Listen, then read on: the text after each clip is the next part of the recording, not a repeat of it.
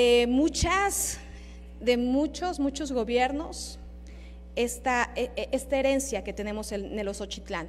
Yo quiero decirles que de manera especial, eh, al día de hoy hemos invertido más de 29 millones de pesos y esto va desde cuartos, dormitorio, cuartos con baño, desde calentadores solares, estufas ecológicas, electrificación no convencional, producto lácteo, módulos avícolas, módulos integrales alimentarios. Nosotros, ¿qué es lo que esperamos y deseamos? Que en la encuesta que va a ser INEGI en el 2024 y que se, eh, estarán los resultados en el 2025, ¿sí es más o menos así, secretario?